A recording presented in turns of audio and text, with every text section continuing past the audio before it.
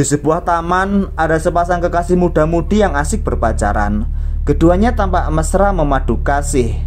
Namun tanpa mereka berdua sadari, dari balik pohon tampaklah seorang gadis lainnya yang sedang mengintainya. Beberapa saat kemudian tiba-tiba gadis tersebut berlari menerjang menuju ke arah kekasih pemuda itu. Dia berlari sambil membawa sebotol bensin di tangan kanannya. Dalam keadaan tidak siap, kekasih dari pemuda itu tiba-tiba saja langsung disiram bensin. Baik si pria maupun si wanita yang sedang tersiram bensin itu kaget. Dan belum hilang rasa kagetnya. Tiba-tiba saja wanita asing yang baru datang dan menyiram bensin itu tiba-tiba saja langsung menyalakan korek api dan melemparkannya ke arah gadis itu.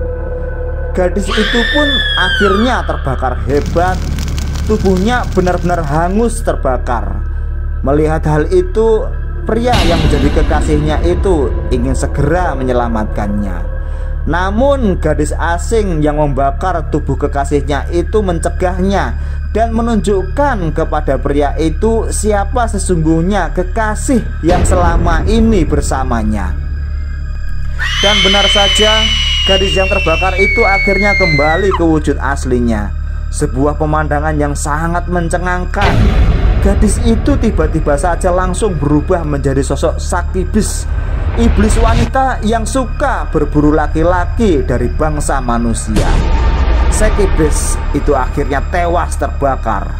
Dengan begitu Akhirnya laki-laki itu merasa hidupnya terselamatkan oleh gadis yang baru saja dia temui dan seperti terhipnotis, si laki-laki itu tiba-tiba saja menyukai gadis itu.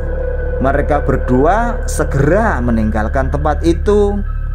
Namun, tanpa laki-laki itu sadari, ternyata gadis yang baru saja ia temui, yang baru saja menyelamatkan dirinya dari sekibus itu, ternyata adalah jenis iblis wanita yang sama dengan kekasih lamanya yang sudah mati barusan.